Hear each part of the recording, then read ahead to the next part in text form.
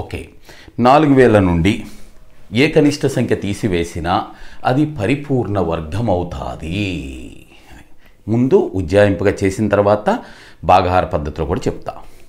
ఏం చేయాలంటే నాలుగు వేల నుండి ఏ కనిష్ట సంఖ్య తీసివేసినా అది పరిపూర్ణ వర్గం అవుతుంది అన్నాడు. అంటే నాలుగు వేలకి దగ్గరలో ఉండాలి. అంటే నాలుగు వేలకి దగ్గరలో దానికంటే తక్కువ ఉండాలి. దానికంటే తక్కువ మనం ఇక్కడ మొదలవుదామండి. చూడండి. అరవై అరవైలు ఎంత? అయితే అరవై స్క్వేర్. ఎంత అరవై స్క్వేర్ అంటే? మూడు వేల ఆరు వందలు. సో కానీ నాలుగు వేలకి ఇంకొక దూరంగా ఉన్నాం. నాలుగు వందలు దూరంగా ఉన్నాం. కదా? ఇంకొద్ది ముందుకు వెళ్ళాలి దీని తర్వాత వర్గ సంఖ్య తీరి చూసుకుంటే మీకు తెలుసుద్ది. దీని తర్వాత వర్గ సంఖ్య ఎట్లా వస్తుంది? దీని తర్వాత వర్గ సంఖ్య ఎట్లా వస్తుంది అంటే ఈ ఇరవై ఉంది కదా దీనికి డబల్ ఎంత? One twenty. Double plus one. So this is ఇక్కడ రాస్తున్నా. ఏంటంటే అది? డబల్ ప్లస్ వన్ కలుపు. డబల్ నూట ఇరవై ఒకటి నూట ఇరవై ఒకటి. ఎంత? ముప్పై ఏడు ఇరవై ఒకటి. ఇంకా దూరం ఉందండి ఇంకా మూడు వందలు ఉందిగా. ఇంకా మూడు వందలు ఉందిగా. ఇంకా కొద్ది ఇంకోటి ముందుకు వేద్దామండి. ఎంత? నెక్స్ట్ ఎంత కలపాలి? నెక్స్ట్ దీని తర్వాతది. నూట ఇరవై ఒకటి తర్వాత బేసి సంఖ్య. మనకు వరుస బేసి సంఖ్యలే. మళ్ళీ ఇంకా ప్రసారాలు చేయక్కర్లా. దీని తర్వాత వచ్చే బేసి సంఖ్య ఎంత? నూట ఇరవై మూడు కలపాలి. అయిపోయింది. కలిపితే ఎంత? నాలుగు నాలుగు ఇంకా రెండు వందలు నూట అరవై దాకా ఉంది తేడా. అంతే కదా ఇది. దాని దగ్గర దాకా వెళ్ళిపోవాలి మనం. రైట్ అండి. ఇంక ఇప్పుడు నెక్స్ట్ మళ్ళీ నెక్స్ట్ది కలిపామనుకో నూట ఇరవై ఐదు. ఎంత? చూడండి. దగ్గర దగ్గరికి వెళ్ళిపోయామండి. నాలుగు వేలకి దరిదాపుల్లోకి వెళ్ళిపోయాం చూడండి. నాలుగు వేలకి దరిదాపుల్లోకి వెళ్ళిపోయాం. ఎంత తక్కువ ఎంత తీసేస్తే ఇది వస్తుంది? ఇప్పుడు ఏమన్నా నాలుగు వేల నుంచి ఎంత తీసేస్తే ఇంక నెక్స్ట్ దానికి వెళ్ళామనుకో దాటి వెళ్ళిపోతాం. నాలుగు వేల లోపు ఉండాలి నాలుగు వేల నుంచి తీసేయాలి కదా. నాలుగు వేలకి లోపు ఉండాలి దాని దగ్గరలో ఉండాలి. ఇంక ఇదే ఇంతకంటే దగ్గర ఏముంటుంది? ఎంత తక్కువలో ఉంది నాలుగు వేల కంటే ఇది? ముప్పై ఒకటి తక్కువ ఉంది. అంటే నువ్వు నాలుగు వేల నుంచి ఎంత తీసేయాలండి? ముప్పై ఒకటి తీసేసి ఇది వచ్చేస్తుంది. సో ఎంత తీసేయాలంటే ముప్పై ఒకటి ఓకే ఈ పద్ధతి. ఇదే నేర్చుకోండి. ఓకే జాగ్రత్తగా అర్థమైంది. మొదటిది కనుక్కున్నాం. తర్వాత మళ్ళీ వన్ నెక్స్ట్ బేసి సంఖ్య. ఇరవై మూడు తర్వాత నూట ఇరవై ఐదు దాని దగ్గరికి వెళ్ళిపోయాము. ఇంకెందుకు తేడా ఎంత ఉందో చూసుకోండి. ఎంత తేడా? థర్టీ వన్ అంతే. రైట్. అయినా సరే సో భాగహార పద్ధతి కూడా చెప్తాం. చూసుకోండి. చెప్పేశానండి అవసరం అంటే పాజ్ ఉంటుంది కదా కొట్టండి. సో చూడండి భాగహార పద్ధతి. వచ్చి కొద్దిగా తెలుస్తుంది. మీకు ఉంటాయి మీ దగ్గర వీడియోస్ కొంతకాలం కాబట్టి మనం చూసుకోవచ్చు ఏమవుతుంది? ఇదిగోండి నాలుగు వేలు. ఇక్కడ చొక్కా ఇక్కడ చొక్కా. ఎంత? ఆరు ఆరులు ముప్పై ఆరు. ఏడేళ్ళు అయితే దాటి వెళ్ళిపోతాం. ఆరు ఆరులు. ముప్పై ఆరు. తీసివేస్తే నాలుగు. ఓకే రెండు సున్నాలు దించి వదిలి బారాయండి దించా. అది డబల్ చేయాలి కదా. డబల్ చేస్తే ఎంత? పన్నెండు. ఇప్పుడు ఎంత పెట్టాలి దీంట్లో? నూట ఇరవై. ఎన్నిసార్లు పోద్ది? నూట ఇరవై దాంట్లో మూడు సార్లు పోద్ది. అంతేగా. నూట ఇరవై మూడు నూట ఇరవైలు మూడు వందల అరవై కదా. నాలుగు సార్లు అయితే దాటి వెళ్ళిపోతాం. నాలుగు పన్నెండు నలభై ఎనిమిది అవుద్ది. ఓకే మూడు సార్లు. ఖచ్చితంగా రాదు ఇందాకలాగా ఇది. మూడు సార్లు. మూడు తెచ్చివేసామనుకు ఇదిగండి. మూడు మూడు తొమ్మిది. మూడు పన్నెండు ముప్పై ఆరు. వచ్చేసి ఎంత మిగిలింది ఇంకా? మన వర్గం కావాలి అంటే ఎంత ఎక్స్ట్రా వచ్చింది? ముప్పై ఒకటి మనకు అనవసరంగా ఎక్స్ట్రా వచ్చింది. ఆ ముప్పై ఒకటి తీసేస్తే వర్గమే కదండి. ఈ తోక మిగిలింది ముప్పై ఒకటి. అది లేకపోయి ఉంటే ఏమయ్యేది? వర్గం అయ్యేది అందుకని ఎంత తీసేయాలి నువ్వు? ముప్పై ఒకటి తీసివేయాలి. ఇదే తీసివేయాలి. ఎక్స్ట్రా వచ్చింది కదా చిన్న ముక్క. ఆ ముక్కను తీసేస్తే వర్గం అవుతుంది ఓకే అండి. నోట్ చేసుకోండి. నెక్స్ట్ క్వశ్చన్ చేద్దాం.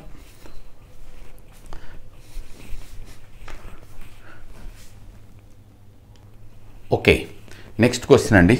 ఒక చతురస్ర వైశాల్యం నలభై నాలుగు ఎనభై తొమ్మిది అయితే దాని భుజం ఎంత? చతురస్ర వైశాల్యం ఇచ్చాడండి. చతురస్ర వైశాల్యానికి సూత్రం ఏంది? A square is equal to ఎంత? నలభై నాలుగు ఎనభై తొమ్మిది భుజం కనుక్కోవాలంటే దీని వర్గమూలం కనుక్కోవాలి. నలభై నాలుగు ఎనభై తొమ్మిదికి వర్గమూలం కట్టాలి. ఇదిగోండి. మూడు మూళ్ళు తొమ్మిది సరిపోయింది. ఆరు ఆరులు ముప్పై ఆరు సరిపోలా. ఏడేళ్ళు తొమ్మిది సరిపోయింది. నలభై తొమ్మిది కదా సరిపోయింది. మూడు మూడు తొమ్మిది. అది కూడా సరిపోయింది. సరిపోయింది కదా? రైట్. మూడు ఉన్నాయి. సరే అరవై డెబ్బై ఉంది కదా? ఇప్పుడు నీకు మనకు తెలుసు కదా? ఒకసారి చూడండి. అరవై స్క్వేర్ అంటే మూడు వేల ఆరు వందలు. మరి డెబ్బైలు కూడా ఇచ్చాడు కాబట్టి డెబ్బై స్క్వేర్ అంటే నాలుగు వేల తొమ్మిది వందలు అండి డెబ్బై స్క్వేర్ అంటే చూడండి ఎంత? నాలుగు వేల తొమ్మిది వందలు. అంతేగా ఏడేళ్ళు నలభై తొమ్మిది. కాబట్టి ఇదిగోండి. అరవై స్క్వేర్ అండ్ డెబ్బై స్క్వేర్ సారీ నాలుగు వేల తొమ్మిది వందల కంటే డెబ్బై కంటే లోపు ఉండాలి కదా. నాలుగు వేల తొమ్మిది వందల డెబ్బై కంటే లోపు ఉండాలి కదా. కాబట్టి ఇదిగో ఇది కాదు. కదండి? ఇది నాలుగు వేల తొమ్మిది వందలు అండి నలభై నాలుగు. కాబట్టి డెబ్బై కంటే లోపు ఉండాలి అది. అయితే వెంటనే మనకు తెలుసుగా అరవై ఐదు కనుక్కుంటే మన కథం కేల్ కథం. అరవై ఐదు కనుక్కోండి. ఎంత? ఇరవై ఐదు. ఆరేళ్ళు ఎంత? ఆరేళ్ళు నలభై రెండు. దీనికంటే ఎక్కువ. దానికంటే ఎక్కువ కదా? కాబట్టి అరవై ఐదు కంటే ఎక్కువ. సో మీ ఆన్సర్ ఎంత? Sixty seven. ఓకే భాగాహార పద్ధతిలో చేయడం కూడా చెప్తానండి. నోట్ చేసుకుంటే. ఓకే ఒకసారి పాజులో పెట్టుకునైనా చూసుకోండి చెప్పేస్తున్నాను నేను. Okay please. నలభై నాలుగు ఎనభై తొమ్మిది. భాగహార పద్ధతిలో. నాలుగు నాలుగు ఎనిమిది తొమ్మిది. Right right. చొక్క చొక్క. ఆరు ముప్పై ఏడేళ్ళు నలభై తొమ్మిది దాటి వెళ్ళిపోతాం. ఆరు ముప్పై ఆరు. తీసేస్తే ఎనిమిది రెండు దించాం. ఎనభై తొమ్మిది. మరి ఈ ఆరుని డబల్ చేస్తే ఎంత? పన్నెండు. పన్నెండు అంటే నూట ఇరవై. ఎన్నిసార్లు పోతుంది దీంట్లో? ఏడు సార్లు. సుమారుగా ఏడు సార్లు. అంతేగా? ఏడు సార్లే కదండి. ఏడు నూట ఇరవైలు ఎనిమిది వందల నలభై. అది కూడా తొమ్మిది ఉంది కాబట్టి ఏడు ఏళ్ళు తొమ్మిది ఉంది కదా చివరి ఏడేళ్ళు నలభై తొమ్మిది. ఏడేళ్ళు నలభై తొమ్మిది. ఏడు పన్నెండు ఎనభై నాలుగును నాలుగు ఎనభై ఎనిమిది. సరిపోయింది ఖతం సో ఎంత నీ ఆన్సరు? అరవై ఏడు. ఓకే అండి నోట్ చేసుకుంటే నెక్స్ట్ కొడదాం.